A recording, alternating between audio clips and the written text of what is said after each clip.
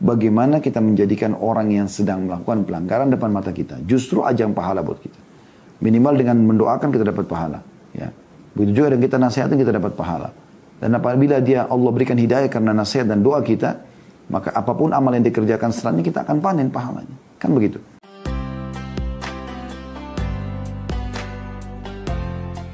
Saudaraku Siman, kita akan melanjutkan dua bab terakhir ya dari buku yang sudah kita bahas. Subhanallah berjalan dan masya Allah beberapa waktu ya cukup lama ya, yaitu kiat-kiat hijrah dari kemaksiatan dan istiqomah dalam ketaatan dan dua bab terakhir ini yaitu bab tentang jangan celah orang lain karena perbuatan dosanya ini akan kita bahas pada kesempatan ini dan insya Allah pada kesempatan akan datang kita akan tutup buku ini dengan judul terakhirnya yaitu antara maksiatan dan masalah. Baik saudara kusiman. Dalam bahasan kita pada kesempatan ini jangan celah orang lain karena perbuatan dosanya. Ini poin yang sangat penting yang harus diperhatikan yang telah disinggung dalam dalil-dalil syariat Allah Subhanahu wa taala cukup banyak nanti akan kita bacakan Bagaimana seseorang kalau sudah istiqomah dan berada di atas keimanan, jangan pernah dia sombong dengan amal yang sudah dia kerjakan. Dan bagaimana dia berusaha untuk menjaga amal baik tersebut istiqomah dengan keikhlasan.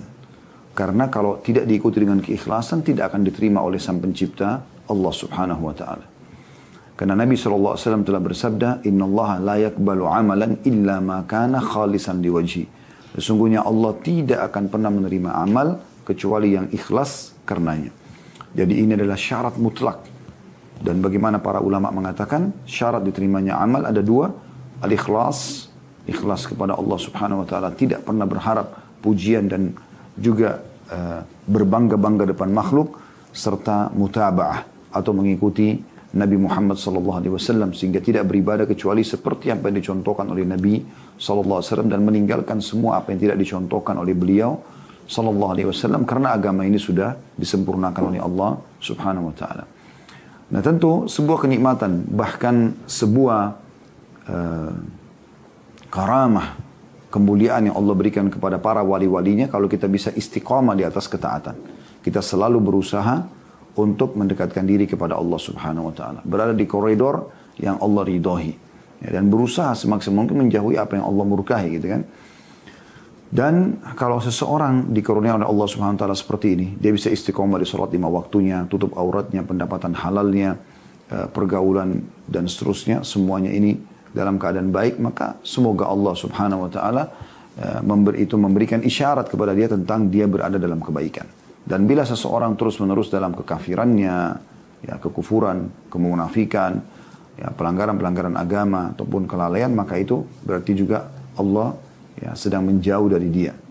Oleh karena itu teman-teman kita harus hati-hati. Hanya saja ada satu poin yang sedang disinggung oleh penulis di sini, yaitu kalaupun kita sudah coba istiqamah di jalan agama Allah Subhanahu wa taala ini, selain kita jaga keikhlasan, maka ada poin penting, yaitu bagaimana kita tidak mencelah orang lain yang sedang melakukan pelanggaran. Walaupun dia sedang salah. Tapi kita tidak mencelahnya. Karena dengan mencelah dia atau menganggap remeh misalnya mengatakan, oh kau itu ahli maksiat, oh kau itu orang begini dan begitu. Maka ini berarti kita mengolok-olok orang tersebut yang mungkin belum sampai padanya hujah. Atau belum sampai padanya argumentasi. Belum sampai padanya dalil. Sehingga dia belum tahu. Andai saja sudah sampai padanya dalil atau pemahaman atau tertanamnya iman dalam hati seperti kita, tentu dia tidak akan melakukannya. Tapi seperti itulah keadaan dia. Ada satu statement dari Umar bin Khattab yang menarik. Radiyallahu anhu beliau mengatakan, saya khawatir kalau seandainya ada seorang wanita yang hamil lewat di depan saya lalu saya mengatakan, ih perutnya besar ya, maka Allah membuat perut saya pun hamil. Apa maknanya? Maknanya adalah jangan olok-olok orang. Jangan olok-olok orang. Pelanggaran yang sedang terjadi pada orang lain, itu justru ajang pahala buat kita yang tidak melakukannya. Kan begitu. Kita bisa menasihati dia, kita bisa mendoakan dia. Karena kalau semua orang sudah baik, lalu siapa yang akan Anda nasihatin? Anda mau dapat pahala dari mana? Tapi dengan adanya orang yang masih lalai, orang yang masih melakukan pelanggaran, maka kita terbuka atau terbuka bagi kita peluang untuk meraih pahala.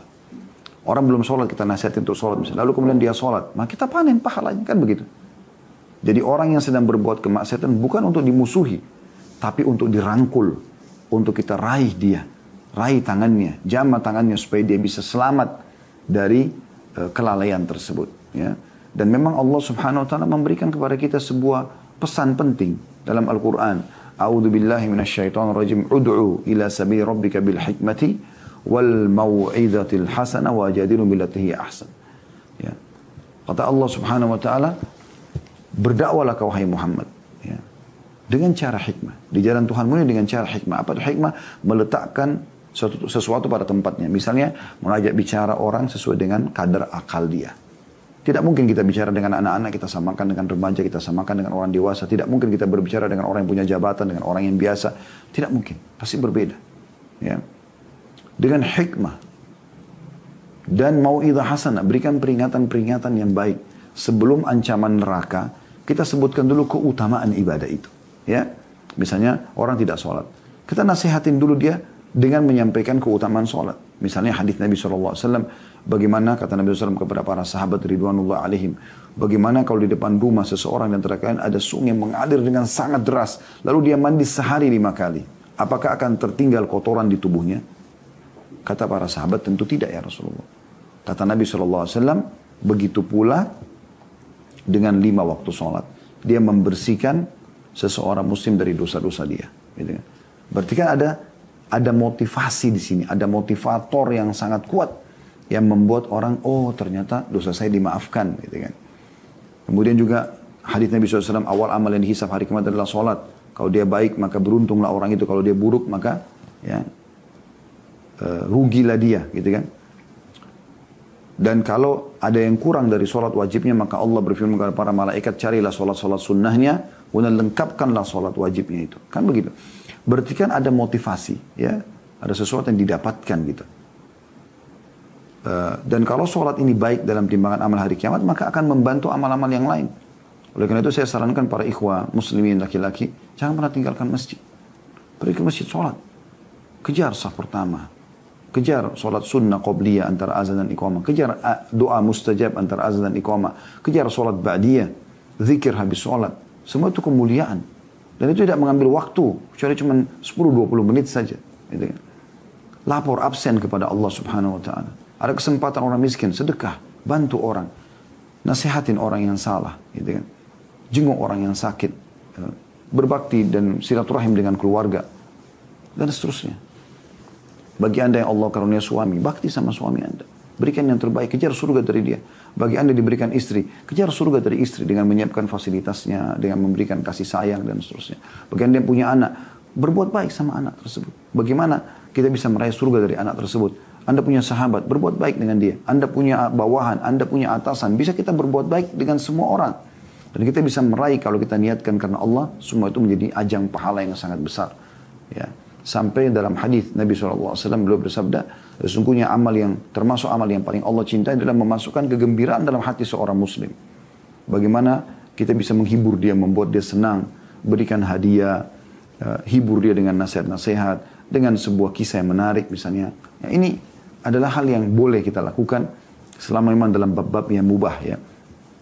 Maka ini teman-teman sekalian. Oleh karena itu, kita ingin titik beratkan jangan pernah mencelah kesalahan orang lain. Ya. Walaupun dia sudah sangat luar biasa kejahatannya. Kita boleh nasihatin dia. Tapi kita jangan mencela perbuatan. Karena jangan sampai nanti justru kembali kepada kita perbuatan tersebut. Hati-hati. Coba kita dengarkan apa yang ditulis oleh penulis. Menarik sekali. Kata penulis di sini, jangan celah orang lain karena perbuatan dosanya. Seorang muslim mencintai Allah yang maha mulia dan maha tinggi dan seluruh amal yang dicintai olehnya. Jadi kita mencintai Allah dan mencintai semua amal yang Allah perintahkan. Misalnya sholat, misalnya sedekah, misalnya puasa, misalnya ibadah-ibadah seluruhnya. Serta dia membenci kemaksiatan kepada Allah dan orang yang melakukannya. Ya. Dan di sini kalau kita benci orang yang bermaksiat, kita benci perbuatannya, bukan fisiknya ya. Dia memiliki perasaan yang halus dan jiwa yang pencemburu, tidak pencemburu terhadap pelanggaran agama maksudnya. Bukan cemburu buta ya, karena banyak orang salah paham dengan cemburu. Dianggap dalam rumah tangga boleh orang cemburu buta. Terserah. Pokoknya uh, saya cemburu saja. Enggak, bukan. Kalau terjadi pelanggaran, dikhawatirkan terjadi pelanggaran agama atau terjadi pelanggaran, baru kita tunjukkan kecemburuan tersebut. Kemudian tidak bersikap toleran kepada orang yang berani melanggar larangan-larangan Allah Subhanahu wa taala. Artinya jangan toleransi dengan orang yang terus mengajak ya ataupun menjadi penyebab ya atau menyiapkan fasilitas kemaksiatan. Sebab cinta karena Allah dan benci karenanya adalah tali iman yang paling kokoh ya. Jadi iman itu tetap selalu, selalu ada dengan cara begini mencintai apa yang Allah perintahkan dan juga membenci apa yang Allah benci. Barang siapa kehilangan hal itu, hendaknya dia mengintrospeksi dirinya dan memeriksa keimanannya. Tetapi ada kalanya dia berlebihan dalam hal itu, yang semestinya dia cukup membenci kemaksiatan dan pelakunya. Dia malah mencelahnya dan bersikap congkak kepadanya. Nah ini yang digaris bawah. Ini jadi inti bahasan kita di sini. Jadi kita boleh membenci satu perbuatan kemaksiatan, tapi jangan jangan mencelah pelakunya. Pencuri salah dengan perbuatan kita nasihatin, kita doakan supaya dapat hidayah. Tapi bukan kita celah, kita mengatakan, oh kamu itu pencuri. Seakan-akan dia tidak akan melakukannya. Tidak, jangan. Perhatikan kata penulis menarik di sini. Saya ulangi ya. Tetapi ada kalanya dia berlebihan maksudnya orang yang membenci kemaksiatan ini. Dalam hal itu, yang semestinya dia cukup membenci kemaksiatan dan pelakunya saja. Tapi dia malah mencela dan bersikap congkak kepadanya, sombong.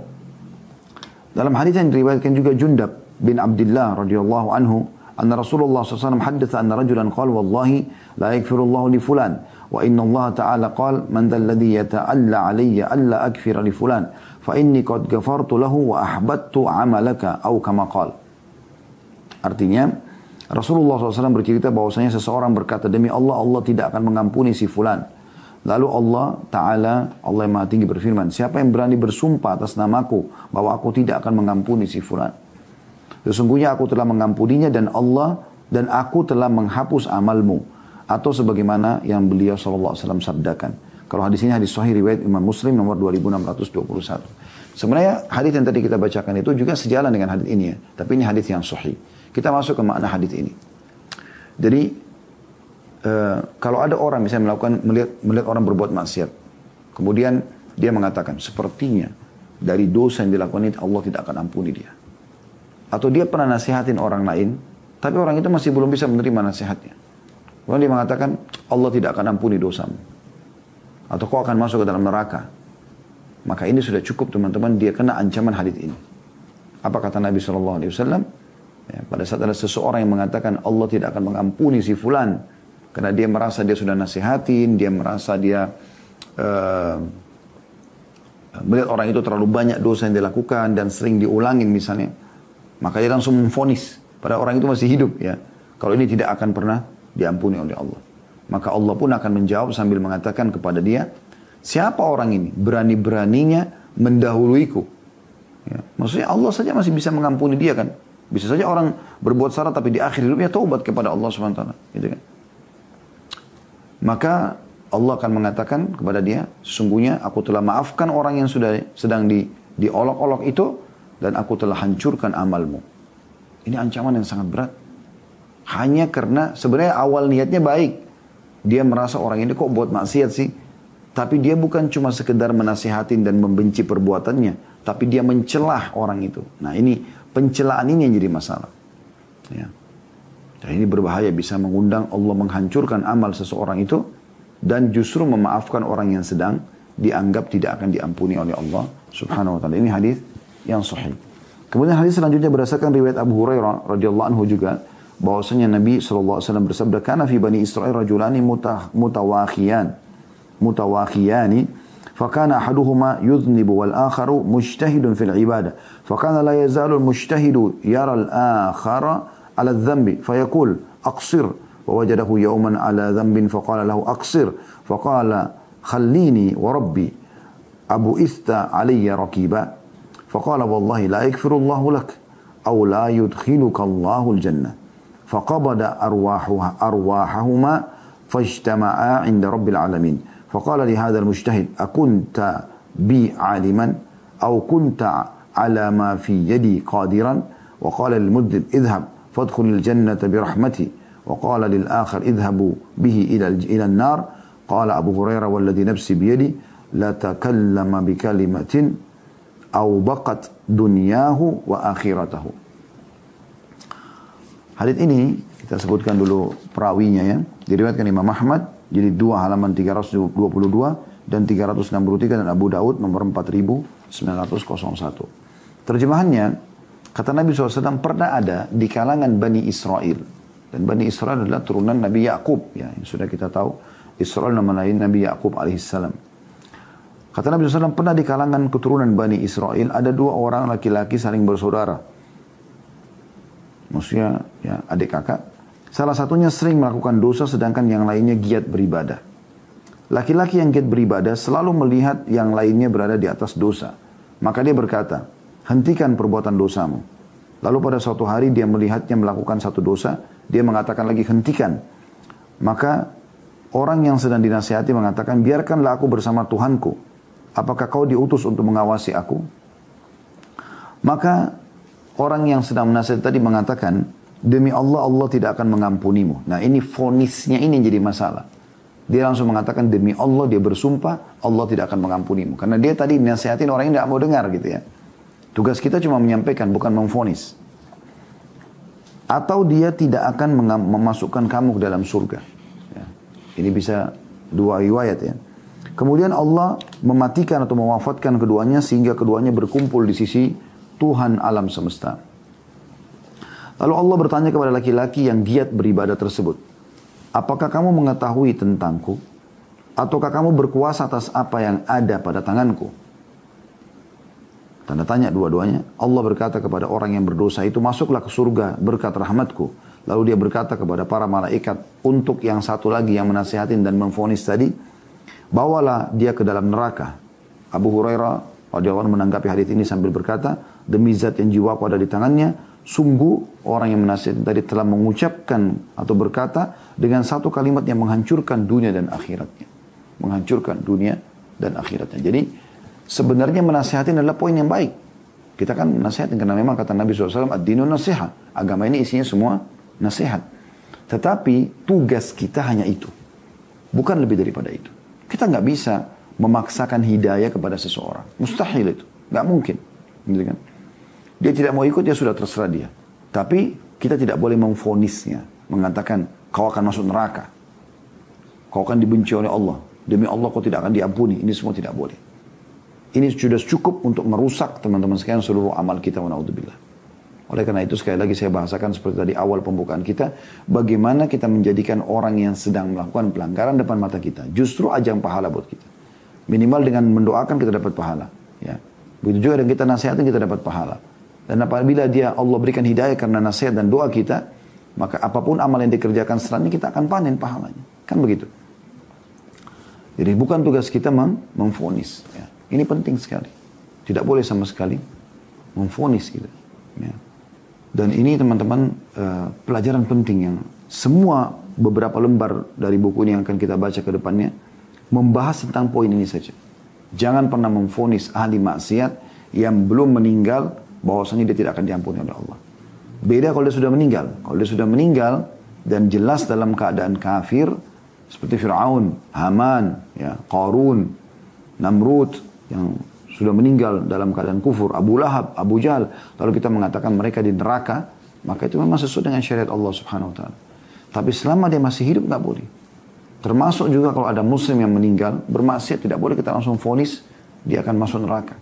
Karena dalam pemahaman ahli sunnah wal jamaah dia adalah tahta masyiatillah.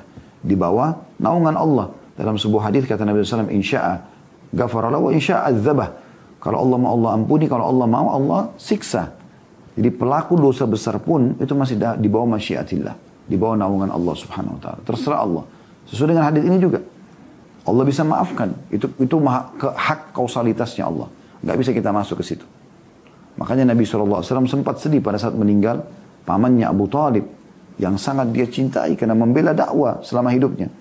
Jadi pada saat mau meninggal Nabi SAW datang ke dekat kakinya lalu mengatakan wahai pamanku Qul la ilaha illallah uhajju bika yawm indallah yawmul qiyamah. Ucapkan la Allah aku akan bantu kamu selamatkan kamu dengan itu pada hari kiamat nanti di depan Allah. Tapi ada Abu Jahal, ada Umayyah bin Khalaf, ada beberapa tokoh-tokoh Quraisy yang datang di atas kepalanya sambil mengatakan wahai Abu Talib, kalau kau ucapkan kami akan membencimu selamanya. Maka dia pun mengucapkan kalimat terakhir, pilihan dia sendiri. Dia mengatakan, saya tidak saya tidak bisa ya berselisih dengan kaum saya. Artinya, saya tidak bisa mengucapkan kalimat itu. Maka dia pun meninggal dalam keadaan tersebut. Lalu Nabi SAW sedih sekali. Kenapa dia harus dengarkan seperti Abu Lahab dan teman-temannya ini? Atau Abu Jahal maaf dengan teman-temannya. Maka pada saat itu Allah SWT turunkan firman yang masyhur. A'udhu billahi rajim. Innaka la tahdi man ahbabt. Walakin Allah yahdi maisha. Kau tidak bisa memberikan petunjuk siapa yang kau cintai Muhammad. Tapi Allah memberikan petunjuk siapa yang dia cintai. Ya. Jadi bukan tugas kita memaksakan orang. Tapi tugas kita menasihati. Nabi Nuh alaihissalam, Nabi Lut alaihissalam, istri mereka berdua. Allah mengatakan, kanata tahta abdaini, kanata tahta, kanata tahta uh, abdaini min ibadina atau uh, saya, makna ayatnya saya khawatir keliru subhanallah tiba-tiba saya terlupa bunyi ayatnya uh, mereka berdua dibawa dua hamba kami yang saleh fakhanatahuma tapi dua-duanya berkhianat tidak mau masuk tidak mau tidak, tidak mau masuk Islam tidak mau beriman pada risalah kedua nabi ini ya. malah sebaliknya seperti Asia istrinya Firaun dia beriman kepada Allah suaminya kafir tapi karena dia pertahankan keimanannya, maka dia meninggal dalam keadaan kufur. Ya. Eh, dia meninggal dalam keadaan, Fir'aun dalam keadaan kufur, dia dalam keadaan beriman. Dan Allah menjanjikan dia termasuk masuk ke dalam surga. Gitu kan. Jadi hati-hati teman-teman, jangan sampai memfonis seseorang itu, kecuali sudah jelas padanya, ya, dan sudah tegak padanya hujah, itu berbeda. Ya, misalnya orang meninggal dalam keadaan kufur, udah jelas. Ya, seperti Abu Lahab tadi, Abu Jahal dan seterusnya. Itu pun di saat kita butuhkan, bukan setiap saat kita sebutkan. Misalnya kita lagi menyebutkan tentang Abu Jahal atau Abu Lahab. Ya, misalnya tentang korban-korban orang kafir di perang Badar. Kan memang mereka termasuk korbannya ya. Korbannya itu Abu Jahal, Umayyah bin Khalaf, Syaibah, Al-Walid. Abu Lahab pun meninggal di Mekah tapi karena kasus ya uh, apa namanya? Uh, ada hubungannya dengan perang Badar. Kepalanya sempat dipukul ya uh, oleh kalau saya tidak salah Ummu Fadl, istrinya Abbas karena sempat salah satu budaknya yang muslim digebukin oleh Abu Lahab ini karena membela muslimin yang perang di Badr. Intinya dia juga wafat pada saat itu. Nah orang-orang seperti ini kalau pas terlintas selalu ada yang tanya, apakah Abu Jahal Abu Lahab masuk neraka? Kita mengatakan iya. Karena Allah sebutkan dalam surah Masad tentang Abu Lahab. Ya. A'udzu billahi minasyaitonir tabbat yada Abi Lahab wa tab. Sungguh celaka kedua tangannya Abi Lahab gitu kan ma'agna anhu malu wa kasab tidak ada manfaat dari harta dan apa yang telah dia kumpulkan. Saya saya naran dzatal lahab. Dia pasti akan masuk ke dalam api neraka yang penuh dengan api yang berkobar-kobar, gitu kan. Ketika sudah ada fonis dari Allah Subhanahu wa taala itu berbeda. Tapi kalau orang itu masih hidup dalam keadaan kafir, dalam keadaan bermaksiat kepada Allah, kita tidak boleh memfonisnya. Termasuk orang muslim yang meninggal, tadi saya bilang bermaksiat. Tidak boleh langsung kita fonis masuk neraka. Tidak boleh. Ya, kita cukup mengatakan dia di bawah naungan terserah Allah, di bawah naungan Allah SWT. Kalau Allah mau Allah ampuni, kalau Allah mau Allah siksa. Selanjutnya setelah itu kata penulis kalimat yang menghancurkan dunia hamba tersebut dan Allah memasukkannya ke dalam neraka karenanya bukan pernyataannya hentikanlah perbuatan dosamu, bukan nasihatnya. Dan pengingkarannya atas apa yang dilakukan saudaranya, melainkan sumpahnya kepada Allah dengan perkataan sesungguhnya Allah tidak akan mengampunimu. Ini permasalahannya fonis langsung seakan-akan keputusan di tangan dia ini yang membuat jadi masalah. Ini penting teman-teman sekalian. Banyak ikhwan dan akhwat kita pada saat mereka sudah kenal manhaj yang benar, manhaj sunnah, man, manhaj salafus salih, metode yang digunakan salafus salih dalam dalam memegang agama ini, ya. Kemudian mereka sudah pakai jilbab besar, mereka sudah ikhwannya sudah tidak isbal, uh, sudah berjenggot, sudah jaga sholat di masjid, masya Allah. Tapi begitu melihat orang lain, ya, yang diperhatikan dari kepala sampai kaki sama dengan dia. Kalau tidak, maka dia akan sinis. Ini aneh ini. Kenapa lihat sinis? Senyum akhi dan ukhti. Kepada orang-orang yang med'u, orang yang butuh dakwah. Mereka butuh kita dakwah, mereka belum faham. Wahai, wahai muslimah, rangkul semua akhwat, semua wanita yang belum berhijab. Ramah dengan mereka, rangkul mereka supaya mereka tersentuh hatinya, mau berhijab. Bagaimana beberapa anak muda di Amerika, muslimah, saya lihat cuplikannya di YouTube ada eksperimen tentang menggunakan jilbab. Subhanallah, mereka ajak orang kafir, wanita kafir berjilbab. Lalu perempuan tersebut terharu lalu menangis. Dia merasa kayak terlindung dalam sebuah benteng yang kuat dengan kain jilbab itu. Kan gitu. Itu yang harus dilakukan dirangkul. Siapa pun dia, selama dia masih pelanggaran agama, kita jadikan sebagai mad'u kita. Doakan, Jadikan sebagai ajang pahala. Hari ini kita dakwai masih belum bisa. Besok kita dakwai lagi. Lusa kita dakwai. Sampai memang sudah terputus jarak untuk mendakwahi dia. Misalnya dia meninggal dalam keadaan kafir. Itu lain. Ya. Meninggal dalam keadaan kemaksiatan kita sudah tidak bisa lagi meluruskan. Sudah. Jadi kita jadikan itu kesempatan untuk ajang pahala kita. Ibnu Mas'ud radhiyallahu anhu berkata, "Idza ra'aitum akhakum qarafa dhanban fala takunu a'wanan lisyaitani alaihi." تقول اللهم أخزه اللهم العنه ولكن سلوا الله العافية. فإن أصحاب محمد كنا لا نقول في أحد شيئا حتى نعلم على ما يموت. فإن ختم له بخير علمنا أنه قد أصاب خيرا. وإن ختم له بشر خفنا عليه عمله. Kata Abdullah bin Mas'ud sahabat Nabi berkata, jika kalian melihat saudara kalian berbuat satu dosa, jangan kalian menjadi penolong syaitan terhadapnya dengan mengatakan, Ya Allah hinakan dia, Ya Allah laknati dia. Tetapi mintalah kepada Allah keselamatan. Semoga Allah berikan hidayah, semoga Allah selamatkan saya dari keburukannya, gitu kan. Tapi jangan minta Allah hinakan dia. Ya, semoga Allah maafkan kalau kita pernah mengucapkan kata-kata ini ya. Nah, kadang-kadang kan kita jengkel orang utang nggak bayar, orang pernah gibah kita, fitnah kita, ya. Malah kita tidak boleh ucapkan kalimat buruk buat dia kan gitu. Jadi kita jadi pegal ya. Tapi subhanallah Islam mengajarkan begitu. Akhlak karimah. Akhlak yang sangat mulia. Yang memang mensucikan hati setiap orang beriman. Justru orang yang pernah berbuat zalim sama kita. Juga kita jadikan sebagai ajang kita mendapatkan pahala. Ajang yang sangat besar sekali. Peluang yang sangat besar. Maka teman-teman sekalian, kita jangan bilang hinakan dia. Laknat dia Allah. Binasakan dia. Tapi kita minta dua hal. Kita minta agar Allah berikan dia petunjuk. Supaya dia pada saat dapat hidayah kita panen pahalanya. Atau kita minta agar diselamatkan dari keburukannya. Udah. Selebihnya kita serahkan kepada Allah. Allah lebih tahu orang ini dihukumkah, orang yang diberikan hidayah kah Allah lebih tahu. Yang penting jangan kita nodai hati kita. Karena teman-teman, semua orang akan diuji oleh Allah. Siapa di antara kita teman-teman tidak pernah digibah oleh orang? Siapa tidak pernah difitnah? Siapa yang tidak pernah teman-teman sekalian diganggu oleh orang lain? Siapa? Tidak mungkin. Orang semua Siapa yang tidak pernah teman-teman merasakan sakit flu, demam? Semua orang diuji oleh Allah SWT. Nah, pada saat nikmat sedang ada, kuncinya syukur. Pada saat cobaan sedang datang, sabar. Nah, itu kuncinya. Jadi ada orang mungkin kalau ada nikmat dia bersyukur, tapi kalau ada cobaan dia tidak bersabar. Tidak, dia harus sabar di sini. Bagaimana dia bersabar, gitu kan? Sabar dia menerima takdir Allah sambil dia tetap ikhtiar mencari jalan keluar yang terbaik. Kemudian kata beliau sesungguhnya kami para sahabat Nabi Muhammad SAW. Jadi beliau seakan-akan dititip pesan. Kami aja sahabat Nabi yang ketemu sama Nabi langsung lihat apa yang kami lakukan. Kata beliau sesungguhnya kami para sahabat Nabi Muhammad SAW tidak pernah mengatakan sesuatu tentang seseorang sehingga kami mengetahui di atas perkara apa dia meninggal. Jika dia ditutup usianya meninggal dengan kebajikan, maka kami mengetahui bahwa dia telah meraih kebajikan. Dan jika ditutup usianya dengan keburukan, maka kami mengkhawatirkan amal atasnya. Hadis ini riwayat Abdul Razak dalam musannafnya nomor 20.266. Jadi bayangkan ya mulianya para sahabat Nabi. Kalau orang itu walaupun penuh dengan kemaksiatan mereka tidak berani bicara apa-apa. Nasihatin ya, tapi fonis nggak?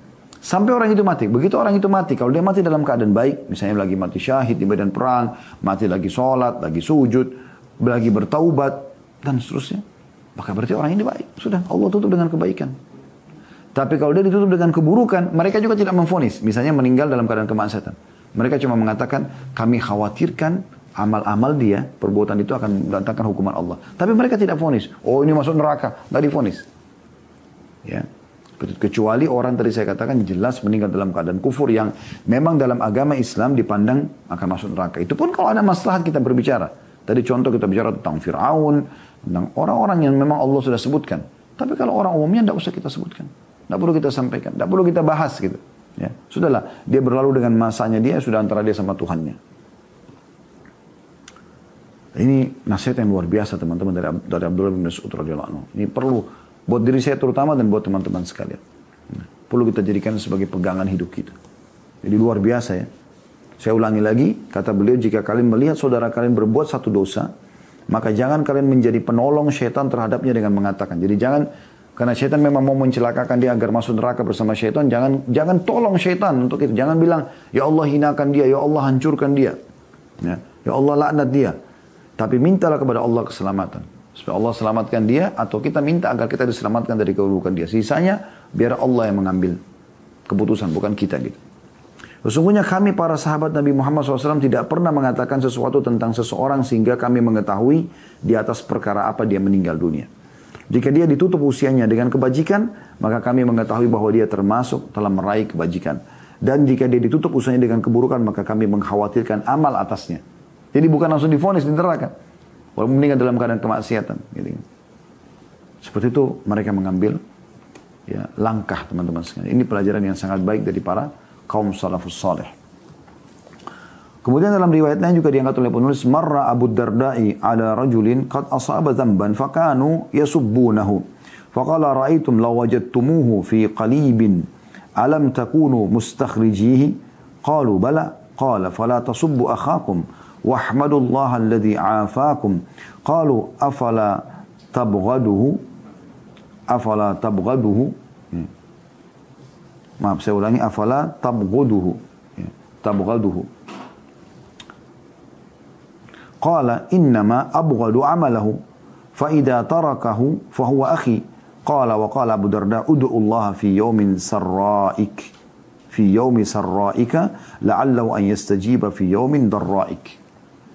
Artinya, Abu Darda pernah melewati seseorang yang telah melakukan suatu dosa maka orang-orang memakinya. Oh ini pelaku maksiat dan segala macam. Lalu Abu Darda bertanya, apakah pendapat kalian? Ya, sekiranya kalian mendapatnya dalam sumur, jatuh. Bukankah kalian akan mengeluarkannya? Kalau seandainya orang yang kalian sedang caci maki lagi jatuh, tidak buat dosa, tapi lagi jatuh di sumur. Apa yang kalian lakukan? Kalian akan keluarkan tidak? Bantu atau biarkan dia tenggelam? Mereka menjawab benar, kami akan bantu dia keluar. Maka kata Abu Darda, karena itu, janganlah kalian memaki saudara kalian dan pujilah Allah yang telah menyelamatkan kalian. Ya. Kalau gitu selamatkan dia.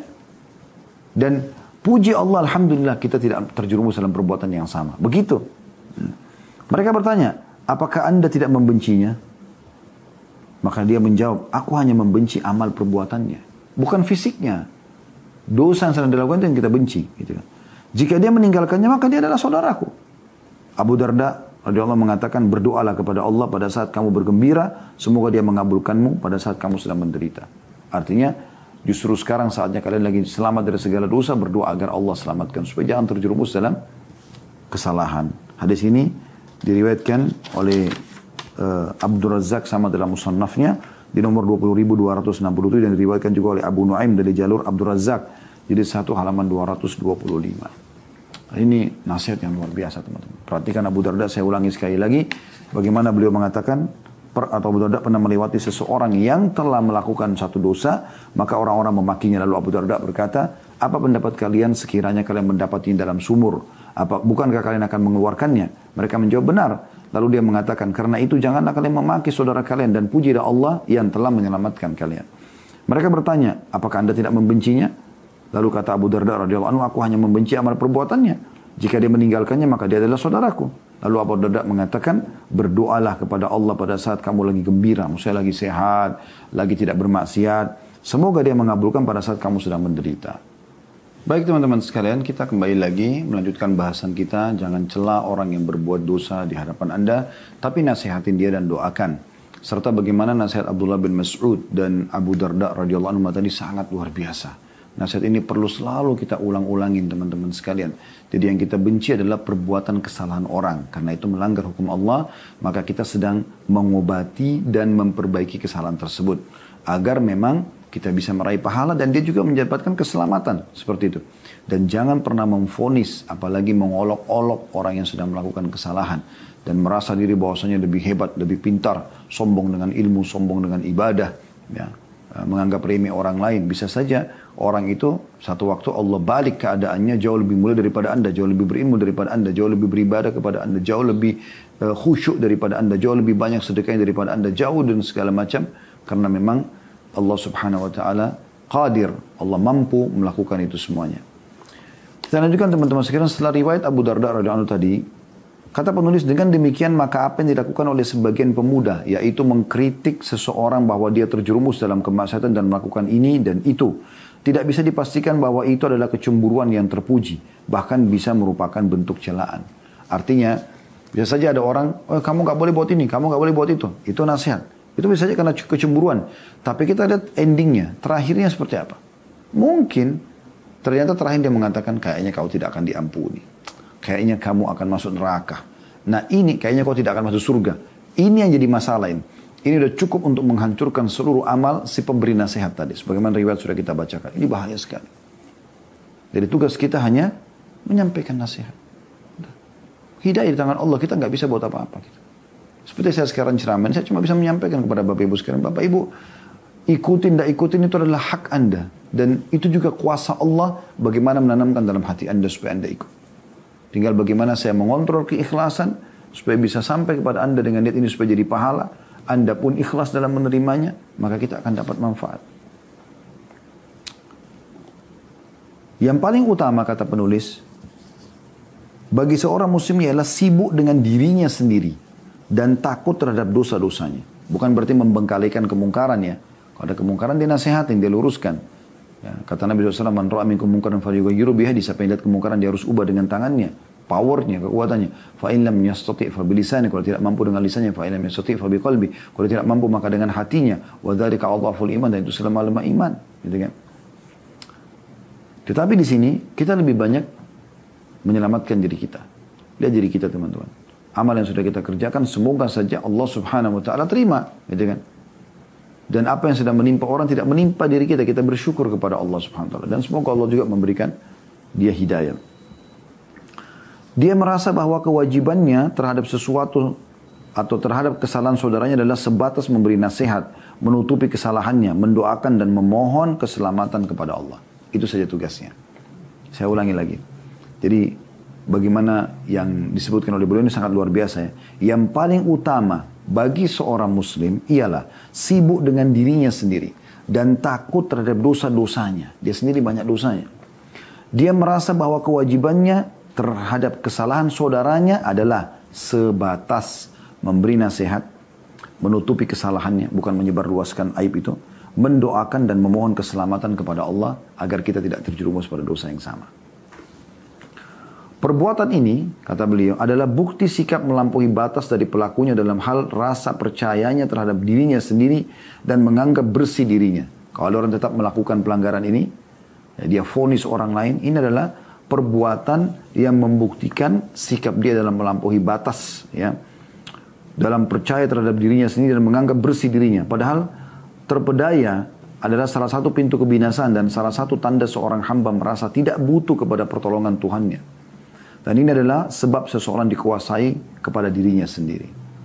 Betapa jauhnya orang ini dengan jalan yang ditempuh oleh orang-orang yang paling mengenal Allah. Yang salah satunya mengucapkan, ini perkataan Nabi Nuh AS.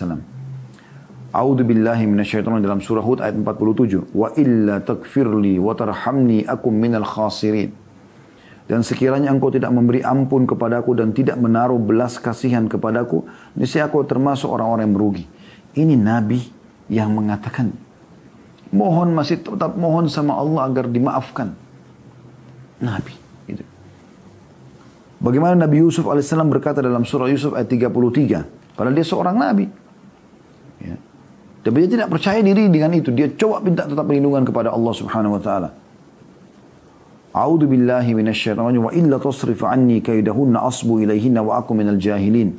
Dan jika engkau tidak menghindarkan diriku dari tipu daya mereka, Maksudnya para wanita-wanita yang menyukai dia hampir seluruh wilayah Mesir pada saat itu suka dengan Nabi Yusuf AS. Ya, terutama yang diundang oleh si ratu yang datang ke istananya. Ya, karena si ratu ingin mengajak Nabi Yusuf untuk berbuat zina. Tapi dia menolaknya. Maka tersebar isu pada saat itu orang-orang di sekitar kota itu membicarakan masa sih istrinya uh, raja atau istrinya orang terhormat ya, mau mengajak anak angkatnya sendiri untuk berzina. Maka diundanglah oleh si ratu tadi ini semua wanita-wanita tersebut sebanyak mungkin lalu disiapkan ya, makanan dengan pisau yang tajam. Kemudian setelah mereka kumpul semua dalam surah Yusuf digambarkan, maka si ratu ini mengatakan ukhruj ilaihin, keluar di depan mereka.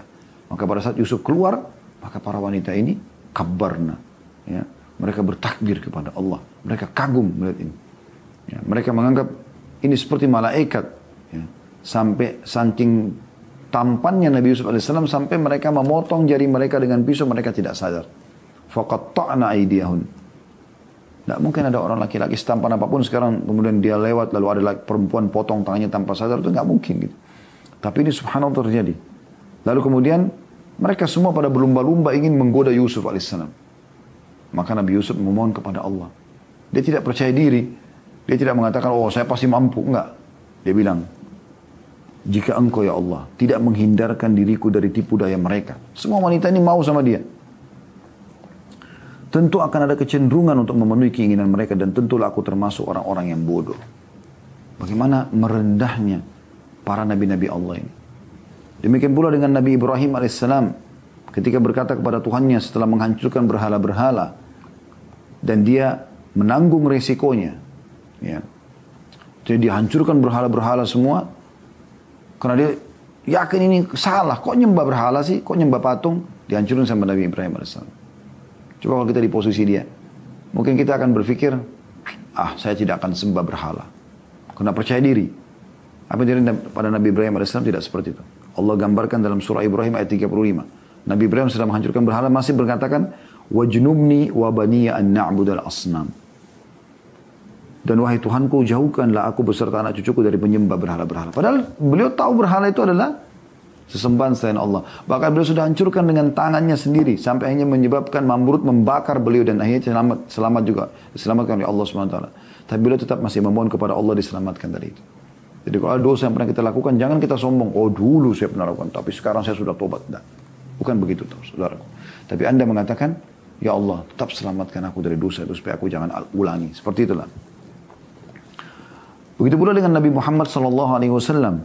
Di antara doa beliau adalah Allahumma rahmataka arju fala takinni ila nafsi tarfata ain wa aslih li sya'ni kullahu la ilaha illa anta. Ya Allah, rahmatmu lah yang aku harapkan. Karena itu janganlah engkau kuasakan aku kepada diriku sekejap pun. Jangan sampai aku ikuti diriku, karena kalau diriku ini bisa salah. Maka perbaikilah keadaanku seluruhnya. Tiada Tuhan yang berhak disembah kecuali engkau.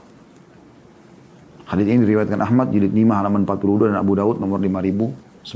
Bayangkan bagaimana Nabi Muhammad SAW masih minta perlindungan kepada Allah. Padahal beliau seorang Nabi. Dan otomatis dipandu oleh Allah SWT. Tapi beliau tetap mengatakan, Ya Allah, aslih li sya'ni kullah. Perbaiki semua keadaanku. Wala takilni ila nafsi tarfatain. Dan jangan sampai aku mengambil keputusan sekejap pun. Biarkan Allah yang ambil keputusan. Ya. Kemudian beliau menutup Ya, paragrafnya sambil mengatakan celaanmu kepada saudaramu berarti congkak dengan ketaatan. Kalau kita celah orang berbuat dosa, berarti kita congkak dengan kita ketaatan kita. Merasa diri bersih, memuji diri dan mengklaim bebas dari dosa. Sedangkan saudaramu menyadari sedangkan saudaramu menyadari dosanya dan mungkin dia menyesali dosanya serta apa yang terjadi padanya berupa ketundukan, menghinakan diri dan membebaskan diri dari penyakit e, merasa bersih dari dosa, sombong dan bangga diri. Berdirinya di hadapan Allah dengan kepala tertunduk. Mungkin orang satu waktu nanti akhirnya berdiri dan tunduk kepada Allah. Ada orang berbuat dosa teman-teman tapi hatinya dipenuhi dengan penyesalan kepada Allah SWT. Takut kepada Allah. Itu mana kita tahu isi hatinya? Mungkin orang cuma menghakimi secara Allah, mungkin belum tidak seperti itu. Pandangan yang khusyuk. Satu waktu Allah buat dia taubat, lalu dia khusyuk kepada Allah, tunduk. Dan hati yang menangis itu lebih bermanfaat baginya dan lebih baik daripada kecongkakanmu dalam ketaatan, menganggap banyak ketaatanmu, menghitung-hitungnya, merasa berjasa kepada Allah dan makhluknya dalam dengan hal itu. Padahal teman-teman sekalian, ingat ya, banyak orang berbangga dengan amalnya, padahal amal itu dia yang butuh. Allah nggak butuh dengan amalnya. Saya udah 30 tahun sholat. Terus apa yang kamu dapatkan dengan itu? Berbangga dengan itu untuk apa? Nah kau yang butuh dengan amal itu. Allah SWT tidak pernah butuh. Kenapa teman-teman banyak orang sholat tapi tidak khusyuk? Kenapa ada orang mengaji tapi buru-buru, berzikir buru-buru? Karena mereka menganggap ya store kewajiban kepada Allah. Seakan-akan dia tidak butuh. Keliru. Dia butuh dengan amal itu. Allah nggak butuh. Kita kalau diberi umur pun seribu tahun dan kita selalu beribadah kepada Allah, Allah nggak butuh dengan amal itu, saudaraku. Kamu yang butuh dengan amalmu. Lalu kata beliau betapa dekatnya orang yang bermaksiat terhadap rahmat dari rahmat Allah dan betapa dekatnya orang yang menunjuk-nunjukkan ketaatan itu dalam dari kemurkaan Allah. Orang yang maksiat kepada Allah tapi mau bertobat sangat dekat dengan rahmat Allah.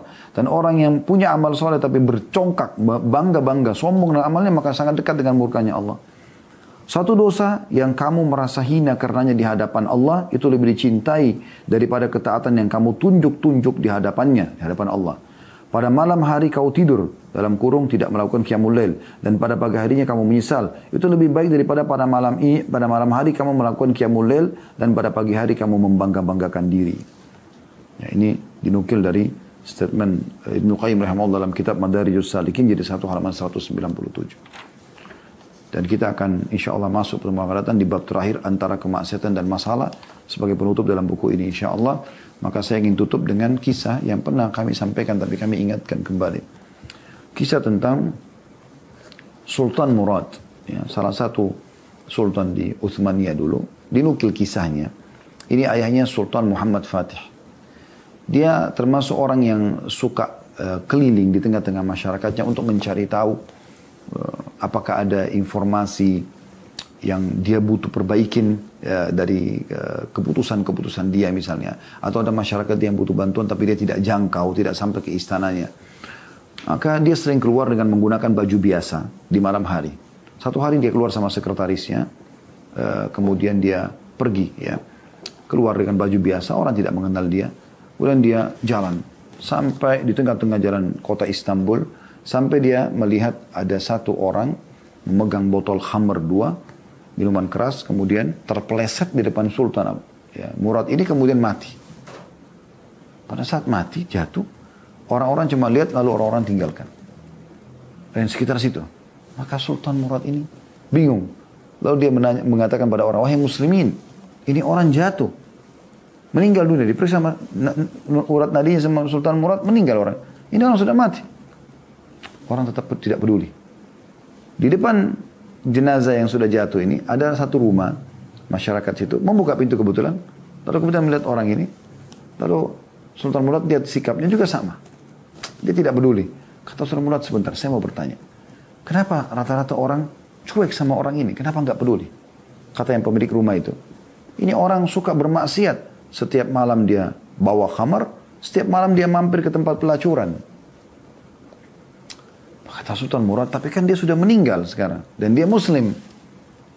Minimal kalau kau tidak mau bantu, tunjukkan saya di mana alamat rumahnya. Maka ditunjukkan alamat rumahnya. Sultan Murad membawa jenazah itu bersama sekretarisnya. Tidak ada yang satupun orang membantunya. Begitu diketuk pintu, dibuka oleh seorang wanita. Waktu wanita itu melihat jenazah laki-laki lalu dia menangis. Ternyata ini adalah istrinya. Gitu. Kemudian setelah tenang dia menangis, Sultan Murad tanya, ini suami kamu? Dia bilang, iya. Baik, ada hal yang saya ingin tanya. Kenapa suamimu ini ya, pada saat meninggal tadi jatuh. Tidak ada satupun orang yang mau melihatnya. Dan mereka memfonisnya sebagai ahli maksiat. Artinya orang ini tiap malam uh, bawa khamar, tiap malam juga ke tempat pelacuran. Kata istrinya, saya sudah tahu akan terjadi itu. Saya sudah tahu akan terjadi itu. Ya. Hanya saja dia bilang, saya sudah pernah ingatkan suami saya. Saya mengatakan, nanti orang akan menilai kamu buruk. Walaupun demi Allah saya tahu suami saya ini orang baik. Dia tidak pernah minum khamar, dia tidak pernah melakukan perzinahan dengan para pelacur-pelacur itu. Kalau kata Sultan Murad, tapi orang-orang memberikan kesaksian itu, dia bilang mengatakan tidak. Sebenarnya suami saya ini punya satu toko di tengah kota Istanbul, dia berdagang. Setiap hari, pendapatan dia itu dibagi. Ada pendapatan dia yang dia bagi untuk kami di rumah, ada pendapatan dia khusus untuk beli khamar dan memberhentikan perzinahan. Dia beli berapa dia mampu, misalnya dia mampu beli dua botol, dia bawa, kemudian dia bawa pulang ke rumah. Dan saya saksikan sendiri di rumah selalu dibuang di kamar kecil. Ya, kalau kita di toilet ya, dibuanglah kamar tersebut. Lalu dia mengatakan setelah keluar dari toilet tersebut, segala puji bagi Allah yang telah memberhentikan muslimin minimal dengan dua botol ini dari khamr. Itu upaya dia gitu. Ya. Dan juga dia uh, sisa uangnya yang lain dia masuk ke tempat pelacuran lalu dia negosiasi sama pemilik tempat di situ atau Se seorang pelacur dia mengatakan berapa biaya ya, pelacuran malam ini. Misalnya sekian. Maka dia bilang ini saya bayar semalaman maka tutup tempat ini. Gitu. Maka terus kemudian dia mengatakan segala puji bagi Allah yang telah membuat saya memberhentikan malam ini. Minimal beberapa anak muda muslim dari perzinahan. Hari kemudian kata uh, ibu itu dia bilang, lalu suami saya jawab pada saat saya bilang, tapi kan orang tidak tahu. Orang pikir kau pemabuk, kau pezina. Dia mengatakan Allah tahu. Dan kalaupun saya meninggal dalam kondisi seperti ini, maka saya yakin nanti Allah akan mendatangkan kepada saya sultan dan juga para ulama-ulama akan mensolati jenazah saya. Maka Sultan Murad menangis sambil mengatakan benar yang dikatakan oleh suamimu. Ya, sungguh benar yang dikatakan oleh suamimu. Saya adalah Sultan Murad dan ini sekretaris saya. Saya akan hadirkan semua ulama di Turki ya pada saat itu untuk mensolati dia.